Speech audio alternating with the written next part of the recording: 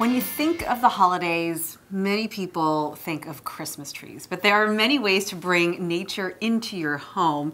And Les, I want to thank you first for putting together Oh, this welcome. fantastic display inside the gift shop at Norfolk Botanical Garden. So poinsettias is another one of those images of the holidays. Yeah, they're sort of a, a go-to plant that people want to buy for the holidays, and they come in all kinds of colors these days. I'm kind of a bit of a traditionalist. I like the reds, the whites, um, but you know, other people might like those uh, blue ones or the ones that have been uh, bejeweled. I'd rather not have those.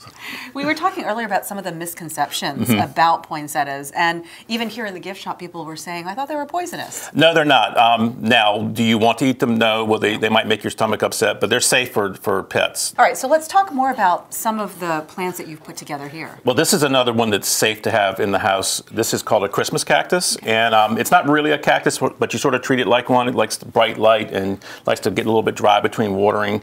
Um, and the nice thing about it, it always blooms around the holidays. But this can last year long. Yeah, year just treat this like a house plant. Um, I have them at home, and I put them on the front porch during the summertime and bring them in just before freezing, and they do great. Well, the one right here looks like a little tree. Yep. If so, if someone doesn't have room for a full-size Christmas tree, they can get a, a Norfolk Island pine, and they look like uh, Christmas trees, but they're great for indoors. They like bright light and humidity.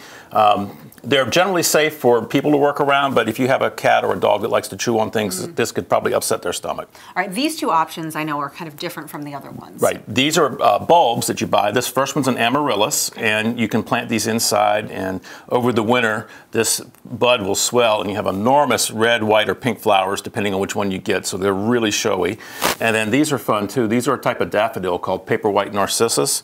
Um, very, very fragrant, very sweet smelling, uh, beautiful white flowers, and they'll bloom in the, inside in the wintertime too. Nice. These are beautiful. And these are also what we talked about. They're toxic. These Yeah, two, right? you need to keep these away from the pets and the children, but they're very distasteful. So as soon as something bites it, and, and they probably won't get anything past their lips. So, And let's talk about the mistletoe oh yeah. real quick. So this is another traditional plant. This is a, actually a parasite that lives off of other trees. Um, ancient Druids thought it was fascinating, so they brought it into the house, and that's how we get our tradition of kissing under the mistletoe. Oh, wonderful. And with the exception of these 2 Mm-hmm. the rest of them can live in or around your home all year long. Absolutely. Um, the Norfolk Island pine is a great house plant, so is the Christmas cactus. You can actually plant these out in your garden when you're done.